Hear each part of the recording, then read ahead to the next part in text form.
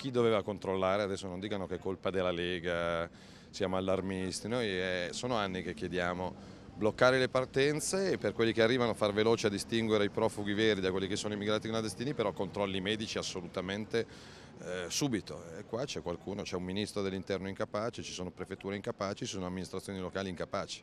Il caso di Scabbia registrato a Maslianico accende la Lega Nord che entra a gamba tesa nella discussione. Il segretario federale Matteo Salvini, in seguito agli ultimi sbarchi, ha più volte ribadito la posizione del Carroccio sull'accoglienza. Proprio gli ultimi sbarchi, peraltro, hanno portato sull'area un altro gruppo di profughi nel quale si inserisce il minorenne somalo che ha contratto la malattia.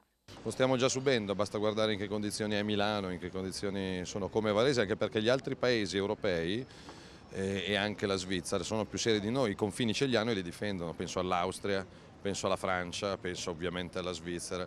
Quindi noi siamo alla barzelletta d'Europa, la soluzione c'è, bloccare le partenze, piano piano ci sta arrivando anche l'ONU, ci arriva l'Europa, ci arriveranno da ultimi anche Renzi Alfano, intervenire in Nord Africa, allestire dei centri di raccolta e identificazione e poi accogliere quelli che sono rifugiati veri ma lasciare là le migliaia di clandestini.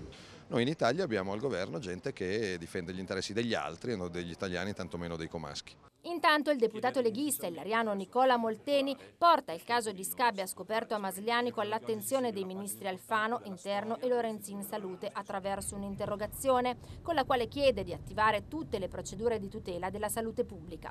Al governo Molteni chiede inoltre di prevedere controlli sanitari a tappeto nelle strutture di accoglienza.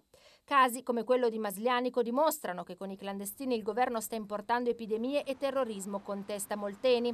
Alfano e Renzi sono una calamità per i nostri territori che rischiano di creare una bomba sociale e sanitaria senza precedenti, dice infine il parlamentare leghista.